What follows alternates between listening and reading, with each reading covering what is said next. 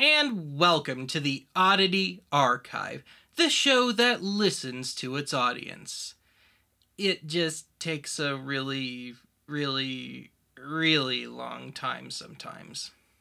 So, uh, what I'd like to do today is I'd like to address something that I've been asked about a lot by viewers, and almost since day one. And that is how do I transfer all the videos and records and stuff that I discuss on the archive? So, what I've done here, and out of character and ed free no less, is over the last couple of days, I've just gone around camcorder and or screen capture software in tow and I've tried to give a good glimpse into all the most common transfer jobs that I do usually for archive. And so with that, I guess uh, let's get started with about as close to a real behind the scenes as I've ever gotten around here.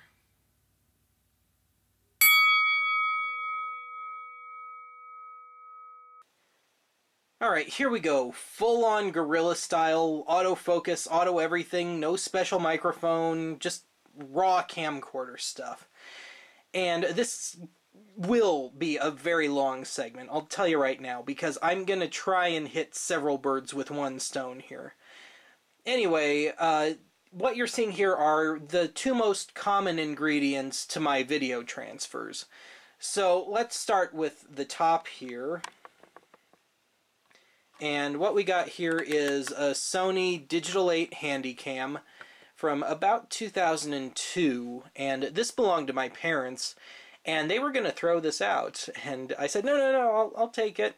Uh, because I didn't own a camcorder at all, so for me it was just like, hey, free camcorder. But um, anyway, the great thing about this that I found out I'd already had it for a few years was that you can use these as a pass through. A, a, lot of these later tape based camcorders, anyway. And the reason for that is a lot of these later Digital 8 and mini DV camcorders have computer interfaces. So, Firewire or USB. Uh, this one's Firewire, and uh, unfortunately, Firewire seems to be going away. I don't know if I like that. Uh, but I do have a mini DV camcorder with a USB interface.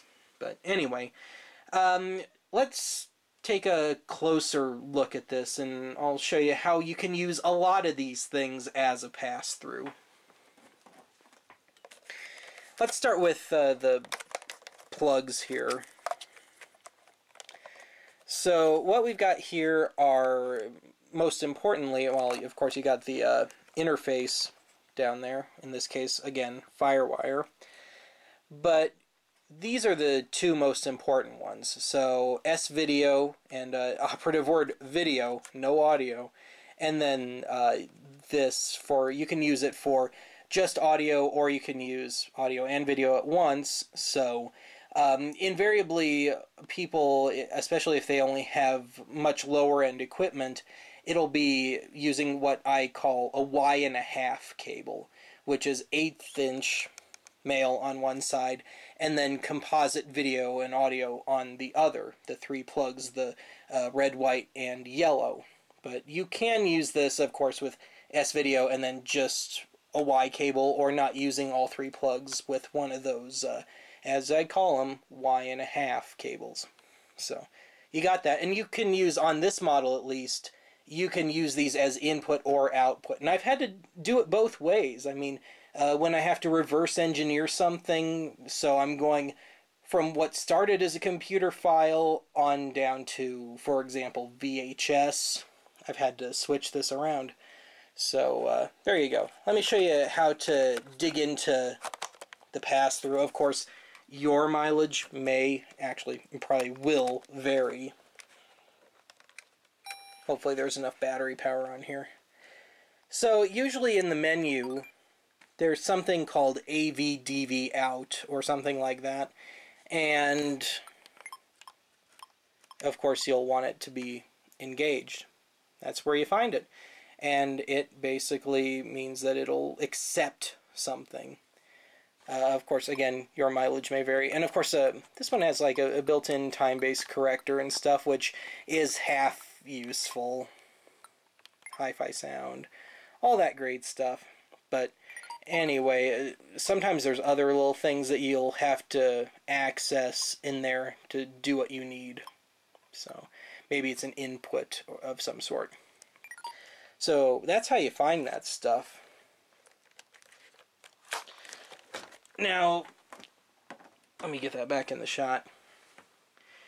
There are some downsides to this, but I, I personally consider the pros to way outweigh the cons here. And I do have an alternate method of capturing video, but this is the one I normally use. But um, let, us start with the downside of this. So you're using this and you're passing it on to the computer, and this is straight up raw, uncompressed footage. And that's a memory hog. So you're looking at basically one gigabyte of space for five minutes of video. It, actually, slightly less. I think it's 457 or something.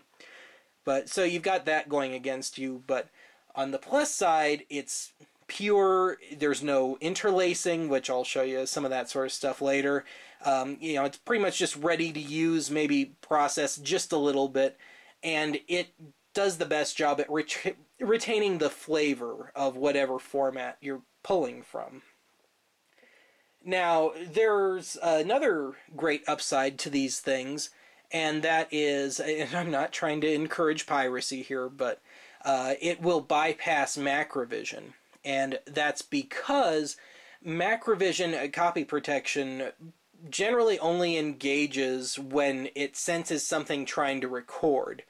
But if you're running, uh, say, a videotape that has Macrovision onto this, as far as it's concerned, if you're not actually recording onto a tape in the camcorder, it thinks it's just a monitor, like you've just hooked it up to the TV. So it doesn't engage. So when you do that and you're passing it on to the computer, the Macrovision never ca- catches on. And again, I'm not trying to promote piracy, but you know, say you've got that old VHS favorite that's never made it to DVD and probably never will, or uh, sometimes with archive. Like uh, very recently, I riffed part of a video uh, hosted by Vincent Price in which he was teaching you how to use a 3D camera.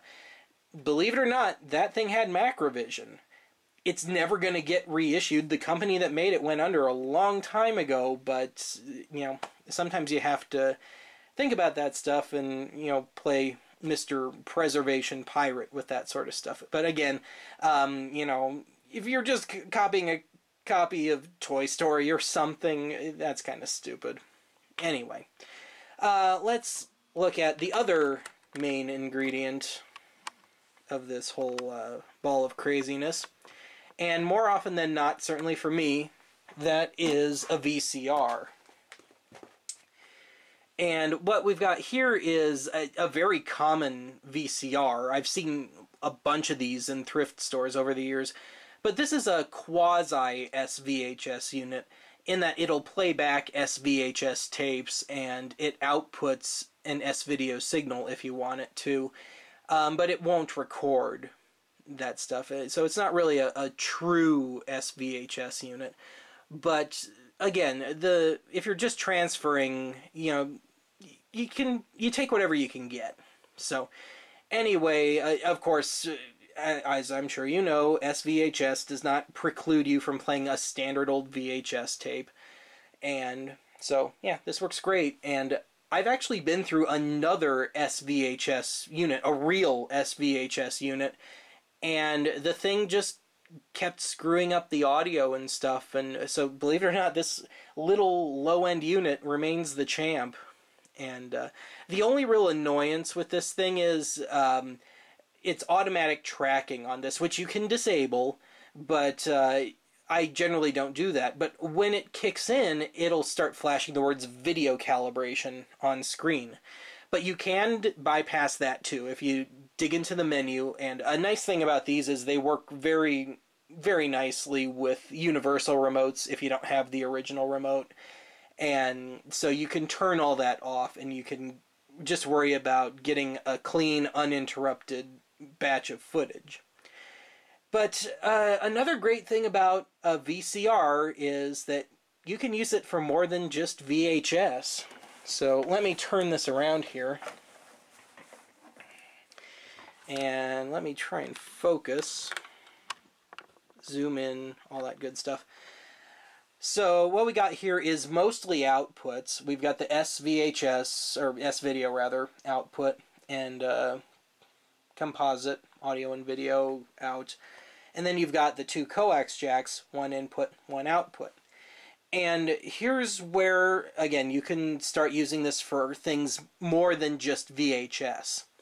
So, a very easy example is early video game footage. So, like an Atari 2600. If you've ever dealt with a 2600, the plug on the end, TV plug, is a phono plug. And that's one plug for everything. And uh, you're not going to have a whole lot of luck using this with much of anything, are you? So that's where you have to make a little bit of an investment. And I bought a bunch of these things. Uh, these little adapters. Come on, camera focus. And this particular one is phono female on one end and then coax male on the other. And you can just stick it on and plug in and you can run from the, uh, again, using Atari as an example, from the Atari into here, and you can pass it on to whatever you're trying to record to. And uh, I have a bunch of these also that are the inverse, because some consoles. Come on, camera. Yeah, it's not really playing nice today. Um, I've got some of these where it's phono male on one end and uh, all variations on this. So I can go from pretty much any old school pre NES console. I guess this would include the NES too, come to think of it. And uh, yeah, so that's how I do it. And you get a nice picture with these things. And uh, I said you make an investment. It's not much of an investment. Uh, these things are on eBay, and they're usually between two and three dollars a pop. So you can buy a bunch of them for say twenty bucks. Just get a, an assortment. Now, let's talk about laser discs real quickly. Uh, there are Laserdisc players with S video outputs, but the thing about Laserdisc is they were recorded using composite video. So S video really doesn't matter all that much. So you sometimes you might see it and you might see somebody trying to coax some insane amount of money for a laserdisc player with S video output and let me tell you, it's it's pretty much meaningless. So it's don't even worry about it. Anyway, um, my other main method of capturing video is with this DVD recorder, which I did a Ben's junk on pretty recently. And I'm not going to get really into any great depth here, but it's got all the same inputs pretty much. It also has a component output on it. Uh, the Coax stuff doesn't work though. But uh, I will use this unit more for um, when I need a lot of footage, like uh, video game footage, when I'm trying to uh, achieve a winning game of something and I just need more time and space and I can't be sitting there worrying about my hard drive. And uh, the downside with this is you get interlaced footage, so you have to worry about deinterlacing and uh, so you get to fidget around with that a bit, but I'll show you how I take care of that in the next segment, which I think we're just about ready for actually, because I think pretty much anything else I have to say about my video transfers is going to be better served by clips and from uh, just footage from the computer itself. So let's take a look at that.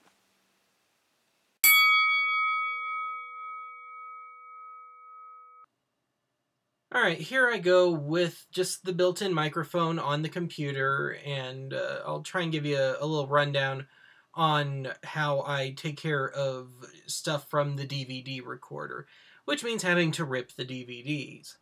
And what I have learned, uh, silly me, my initial thought was because DVD footage is, I think, always interlaced, I'm not positive, uh, that it's something you would want to take care of after the fact uh, you know, once you've got the rip.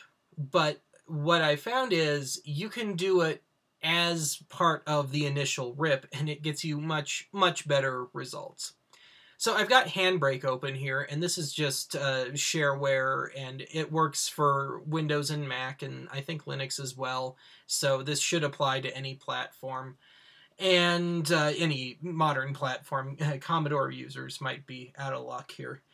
But anyway, I've got Handbrake open, and I've got a DVD of some VHS footage that I took a while ago. There's only about 20 or 30 minutes of footage on here, so let me go ahead and stick this in the machine.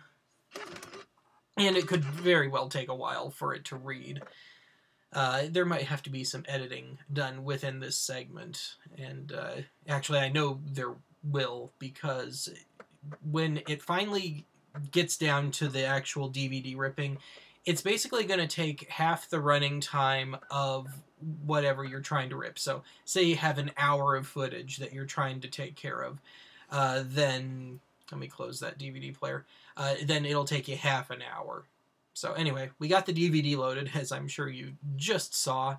So here in Handbrake, you will go to Source, and it's already taking me where I want to, but you'll find the disk that you stuck in the machine, and you just pick the whole folder. So in this case, I can just double click this entire DVD folder and this doesn't really seem to matter. I just say attempt scan anyway. And it'll do its thing. It does take a bit, but again, this is a, not a whole lot of footage on here, so hopefully it won't take too long. And uh, annoyingly, Handbrake likes to do stuff for you sometimes. And the big problem I have when I'm trying to rip something that I've recorded is Handbrake will try and crop the picture. And honestly, I don't mind if I even have a little bit of a black box around the picture. I just don't like stuff getting cut off. Um, again, that's just my personal preference. Your mileage may vary. But anyway, it looks like it's read the disc here, and it'll give you a drop-down list of titles. So I've only got two to choose from here. I guess uh, we'll take the long one. And then it's got a destination folder here. Uh, here it defaults to desktop, which is fine for me, but uh, I want to give it a different name. So this will still just go to the desktop, but I'll just call it uh, DVD rip test. Anyway, as I was saying, uh, Handbrake likes to try and crop the picture on you a lot of times. So you'll see it here, picture cropping, and it'll have all these odd numbers here. Amazingly, this time it's not trying to crop. But to keep it from doing that, and you'll have to do this with every disk, you'll go into picture settings here, and let me get this in the shot. Uh, it'll default to the size menu, and you'll go to here where it says cropping, and you'll select custom, and invariably there'll be all these wacky numbers all over the place. But you'll just want to take them down using the arrow keys to zero. Unfortunately, you can't just, you know, highlight it and type it. That would be nice but uh, it's not really a thing yet. Uh, anyway, so we're good on that front. And then for the deinterlacing, you pick filters here. So we were on size, now we're on filters. And you got this little switch here between decomb and deinterlace. You'll want deinterlace. This magically just became a deinterlace uh, drop-down menu. You'll want slower, which will get you the best result. And we're good to go. So we can X out of that, we got everything all ready to go, and we hit start. And like I said, it takes about half as long uh, as the actual runtime of whatever you're working on for this to happen. So this is probably going to be about a 10 minute rip. But uh, there we go. It's getting started slowly but surely. And again, my estimate's about 10 minutes for this. Let's see. Yeah, that's about right. Okay, so now I wait. Uh, you don't have to.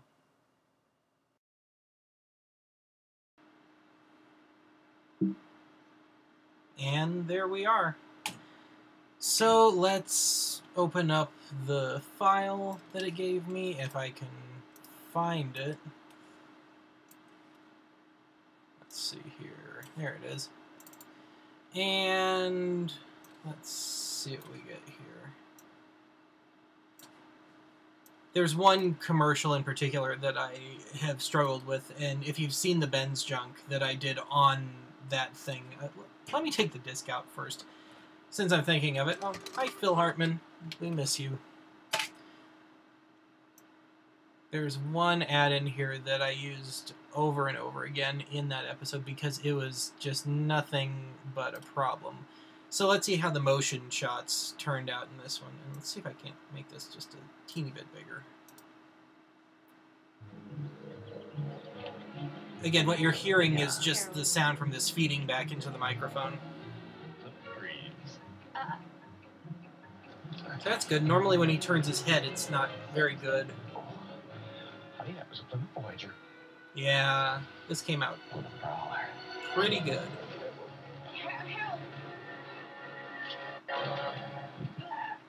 Nice. Alright, so that's how I take care of the DVD basic rip stuff. Um, sometimes I'll have to go back and maybe uh, the picture will be really dark and I'll have to brighten it up a bit later on. Uh, sometimes it'll have a really weak sound or sound just out of one channel, and then I have to slice and dice the audio, sometimes resync the audio. Uh, but generally, that doesn't happen. Um, if it's my own footage, usually I have tried to factor that in ahead of time.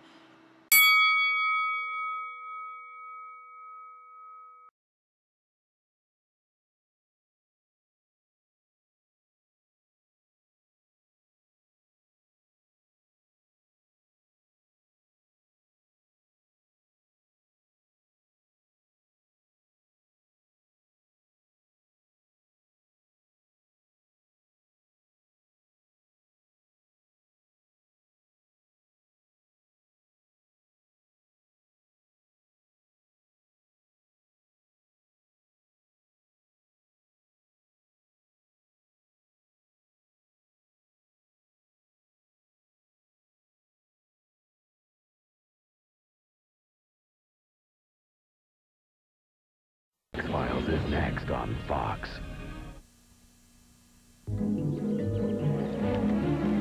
Plymouth Neon. Harold.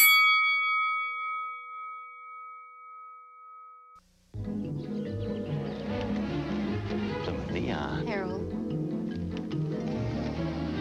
Plymouth Breeze. Uh. Sit.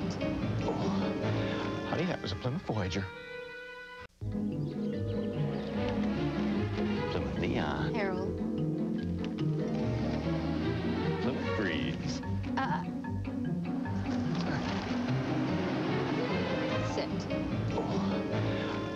A Voyager.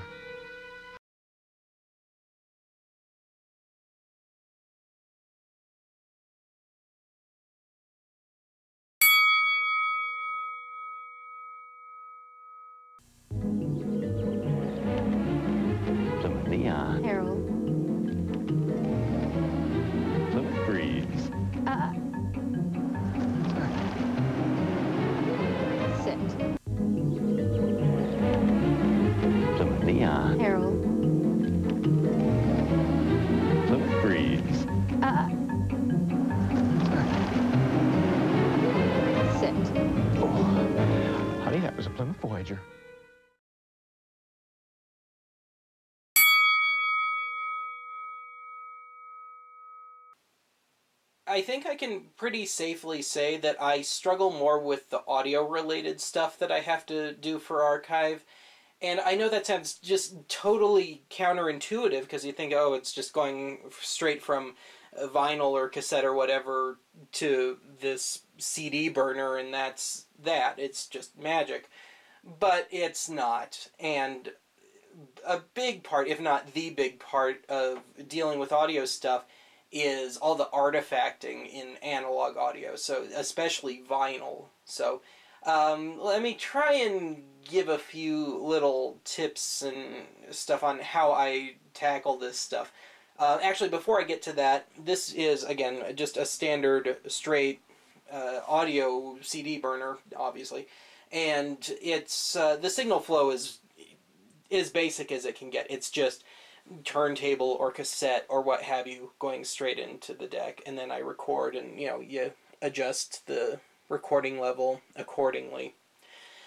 So yeah, certainly from a signal flow standpoint, it's a lot easier. But it's again, you're just dealing with all those little idiosyncrasies of audio. So um, the first big thing is just uh, for me getting a straight, clean, uninterrupted transfer of the record or tape or whatever, and then I go back and worry about um, trying to work on the sound and cut it down into individual tracks and all that sort of stuff.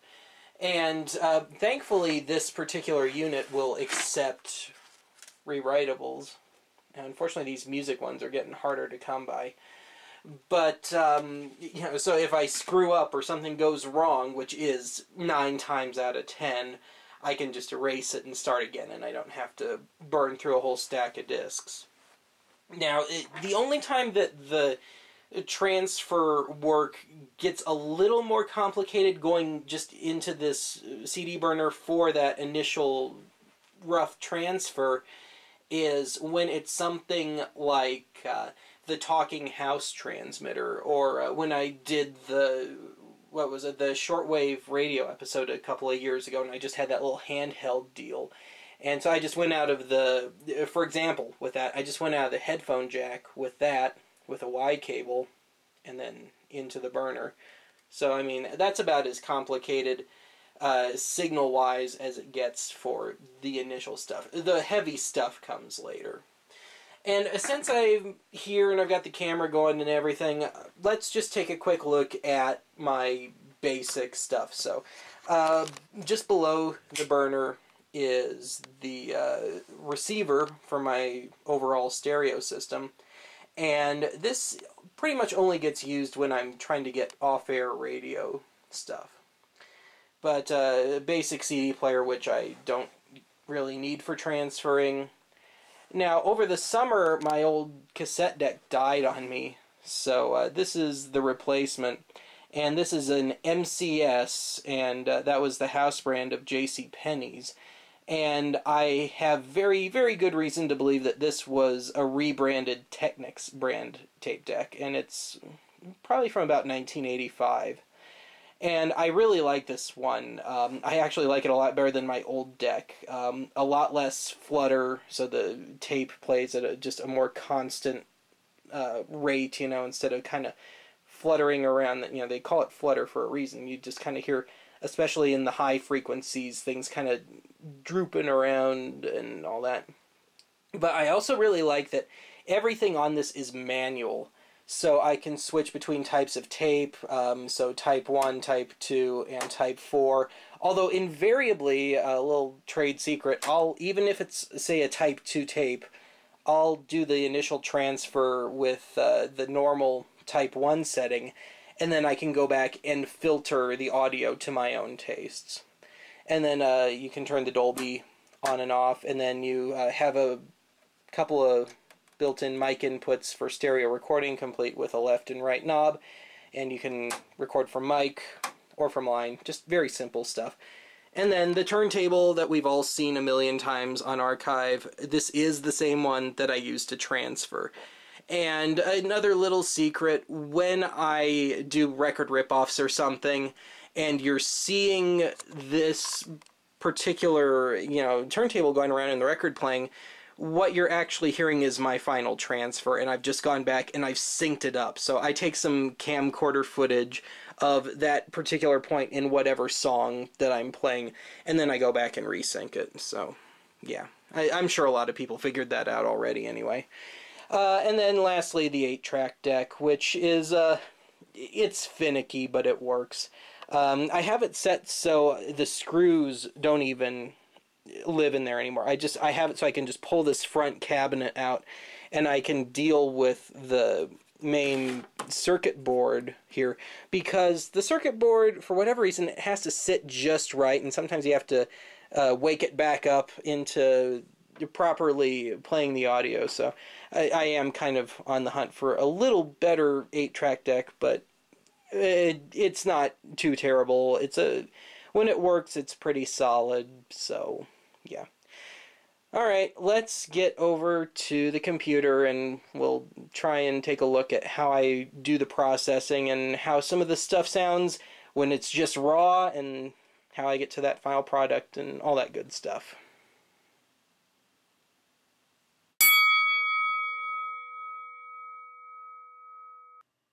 Okay, we are in Audacity right now, which is another shareware program, and nine times out of ten, this is where I do basically all the proper editing for any audio that I'm working on. If it's really bad, I have to take it to Pro Tools. But let's see if I can get through this. And I've got two uh, tracks here, and they've both been used on archive before, but I had to go back and take new raw transfers of them. And the top one here is uh, the Rocky Mountain Professional Photographers Association board meeting from the random audio cassettes episode, and I only took the first five minutes or so of it. And at the bottom here is a one of the ones from Record Ripoffs, and it's a rendition of "Don't Expect Me to Be Your Friend," originally by Lobo. And uh, this is the one that somebody put their cigarette up, cigarette out on. So I'm gonna basically just walk you through my usual process. Uh, the cassettes are usually a little easier, so we'll start with that. We'll mute this, but usually what I'll do is I'll cut any dead space off the beginning and end of uh, a, a, chunk of audio. Uh, as I mentioned, I like to take a whole side of a record or a whole side of a tape at once, and then I'll, uh, I guess you could say, stitch it back together. But I, usually it's me, as I said, working with entire chunks of audio at once. So, like here at the bottom, this would normally be the whole side of the record, and I would just work on it all the way through. So, Anyway, let's start with this. Now, when I am starting a side, I usually leave uh, two fifths to half a second of lead time at the beginning. So we'll take the beginning right here at five and a half and give it a little over a tenth of a second of a fade in from the effects menu and that's usually the start. We did not have one last year. And it's very quiet right now. And I do that on purpose, actually, because let me go back to full screen here. Um, invariably, uh, probably the vinyl would be a better descriptor. You see all these spikes here. This, it's all artifacting. These are all pops and stuff from the vinyl. So I usually deliberately record it at a fairly low volume because it makes the spikes stand out more. And then once I at least get them something manageable, then I can go back and I have that much more room to work on when I turn it up to where it would normally peak at a full 0 dB. So anyway, uh, back to the cassette. Usually my first thing that I'll do is I'll amplify it again from the effects menu. So I've got over 11 dB worth of headroom there. And this takes a few seconds. Of course, it takes a lot longer if I deal with a whole side of something. So this brought it up to full volume, and listening's not going to do a whole lot of good because you can only hear what's leaking from my speakers back into the microphone. We did not have one last year, and I got a lot of comments the manufacturers. Why? Now it's uh, really crackly, really bad. It's uh, an amateur recording, so you just have to know. Uh, with a lot of the stuff I work with, just realistically, it's never going to sound all that great. But here's what I usually do. So normally I will filter the audio pretty conservatively. So let's start with a uh, low pass filter which allows low frequencies to continue to pass through. Normally, I will take the most steep roll off it'll let me have, and I'll put the cutoff at 20 kilohertz or 20,000 hertz. So we got that. This should let uh, everything below 20k stay and everything above 20k go bye bye. and the sampling rate is uh, for my method 44.1 kilohertz, uh, Nyquist theorem, all that wonderful stuff. It comes out to 22.05, so I'll, I can get up to 22,050 hertz, and uh, a lot of that is really just the human ear doesn't really hear it that well, but when I cut it off, it makes it seem a little clearer. So let's take a as much of a listen as we can at the cutoff at 20k for starters. Uh, actually, you know, let me just finish this. I also do a high pass, uh, very gentle. I don't like cutting off too much low end, so it's only 25 hertz usually.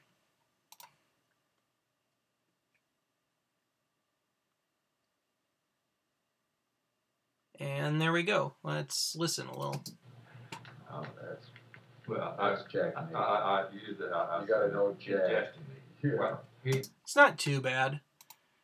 Let's take it down to 19k. I usually won't do it below 18 or 19k because uh, I don't like sacrificing much of the music or verbiage in this case. So let's see what 19 brought us down to, which again, That's Jack. I, Nate. I, I use it. I, I You gotta know Jack. Yeah. Well, he, as best as I can tell, that's better.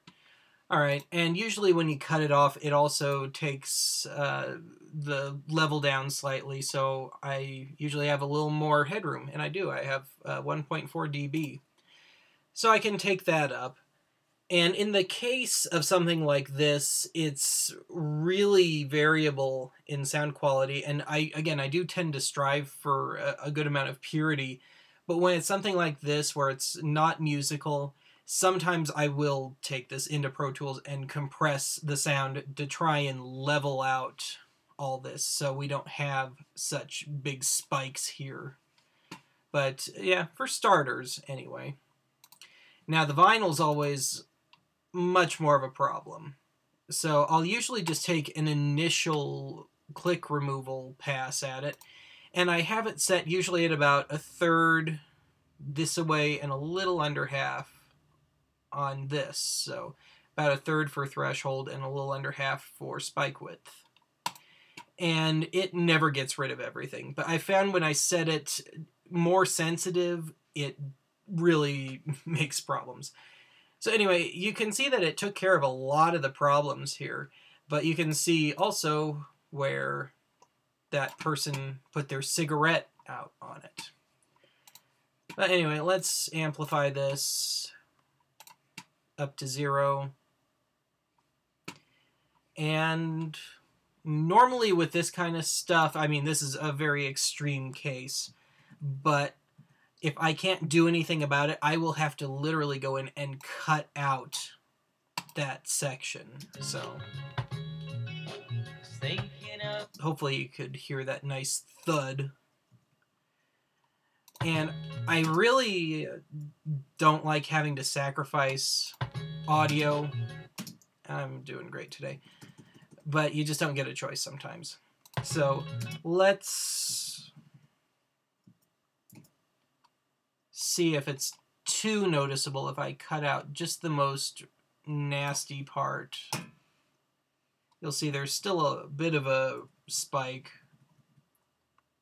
if I go the right direction in zooming out. Let's see what it did. a memory.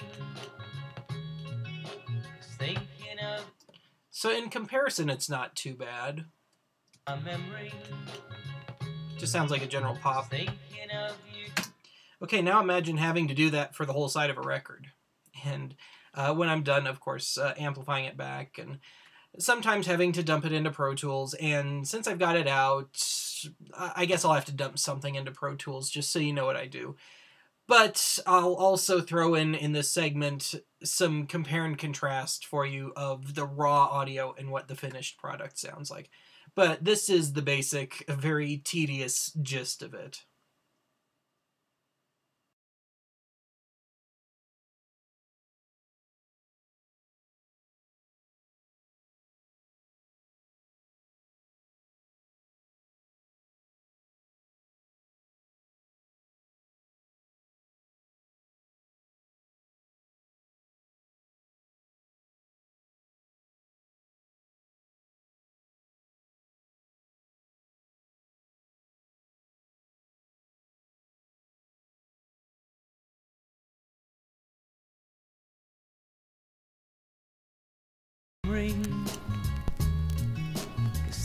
Thinking of you jumbles up my mind.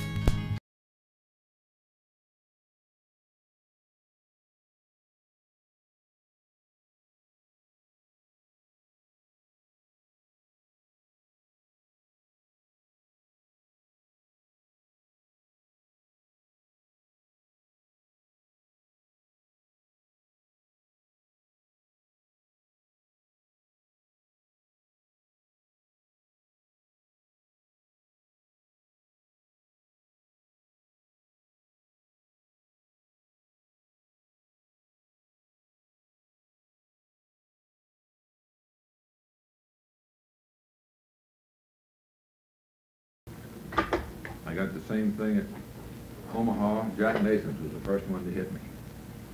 Now, if Jack will go to Beacon and we'll go to Omaha,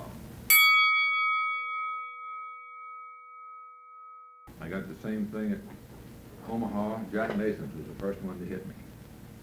Now, if Jack will go to Beacon and we'll go to Omaha to get a breakfast, uh, and won't come to Rocky Mountain because he didn't get a breakfast. Oh, that's, Well, That's I, Jack I, I, I used that. I, I You gotta said know that Jack. Jestingly. Yeah. Well, I got the same thing at Omaha. Jack Nasons was the first one to hit me. Now, if Jack will go to Beacon and we'll go to Omaha to get a breakfast, uh, and won't come to Rocky Mountain because he didn't get a breakfast. oh, that's, Well, That's I, Jack I, I, I used that. I, I You gotta said know that Jack. Jestingly. yeah. I got the same thing at Omaha. Jack Nasons was the first one to hit me. Now, Jack will go to Beacon and we'll go to Omaha to get a breakfast, uh, and won't come to Rocky Mountain because he didn't get a breakfast. Oh, that's, Well, That's I, Jack I, I, I used that. I, You gotta said know Jack. Jestingly. Yeah. Well,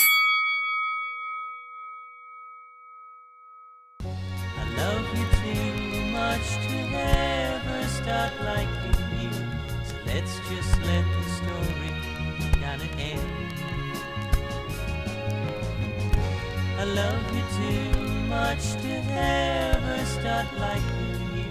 So don't expect me to be your friend. I love you too much to ever start liking you. So let's just let the story kinda end. I love you too much to ever start liking you. So don't expect be your friend. I love you too much to ever start liking you. So let's just let the story kinda end. I love you too much to ever start liking you.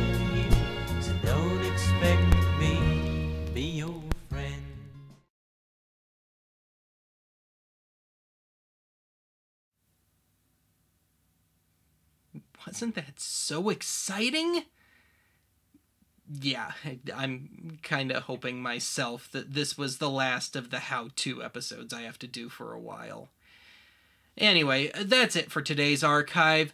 Join us next time when the candid camcorder footage of me swearing up a storm and threatening my 8 track deck with major bodily harm just suddenly, magically, mysteriously surfaces. Love you too much to ever start liking you. So let's just let the story kinda end. I love you too much to ever start liking